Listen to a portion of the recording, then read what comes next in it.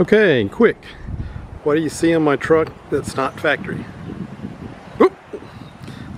Another look. What do you see on my truck that's not factory? Well, did you catch it? It's tow mirrors.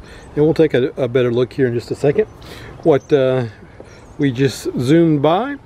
But uh, these are Snap and Zap by K-Source. I guess I got these from eTrailer, I think. I'll put a link in the description anyway. But uh, they say snap on, it's a zap, it's off. No tools or parts required. So uh, that is true. These are probably the best tow mirrors I've ever uh, I've ever used. Um, the uh, F-150 has got the um, standard uh, looking mirrors I guess. It doesn't have the bigger tow mirrors. And I really didn't want to put the bigger tow mirrors on here because they uh, they're just huge look like moose ears to me. Um, but I've got this uh, big fifth wheel back here so you need a little something to help see around that.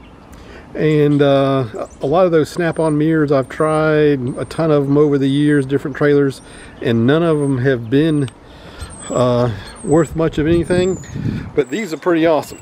So they come in a little storage bag uh, which is a very nice uh, addition. And if we can see in here there's two mirrors and this up a little bit.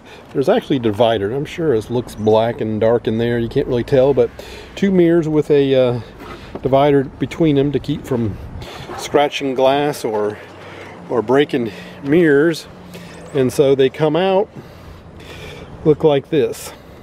Um, these little clips clip over the side and the top and then if I can get it to stay still this piece uh, just got a little lever action clips onto the bottom holds it in place so it gives you that bit of extension um, there's a soft uh, rubber piece here in the back that goes against the uh, the plastic of the factory mirror so they don't uh, scratch anything up.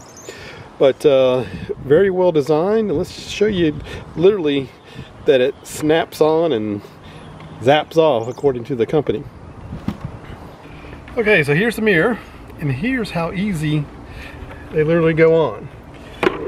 Just wrap it over the top, get the uh, side and top pieces into place here and then just kind of push it forward and then this snaps on and it's there.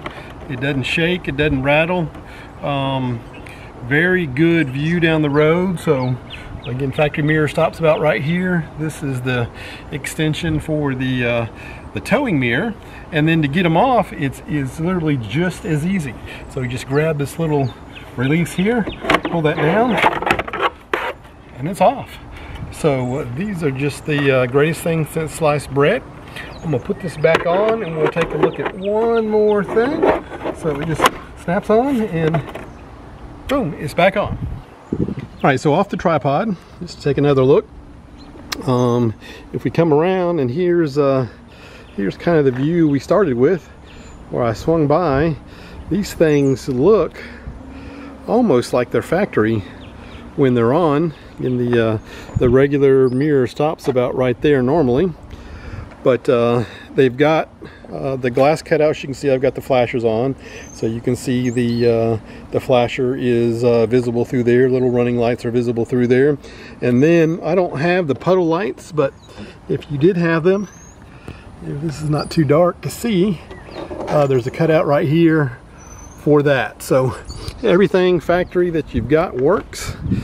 They uh, if you're walking by this thing you probably never know that they were tow mirrors but uh, they give you that uh, extra view that you need to see around your big beast